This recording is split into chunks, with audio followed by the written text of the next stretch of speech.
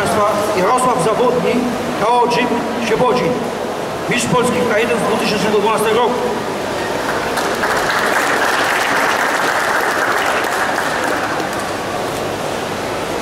Jest w limicie, czyli jest dobrze wszystko. Jego rywalem będzie Wrocławianin, też wielkie brawa, Dawid Kasperski z Pancera Wrocław, aktualny mistrz Polski K1.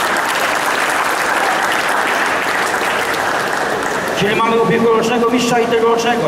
Sprawdzą się, który jest z nich lepszy. Jest w limicie, jest w limicie.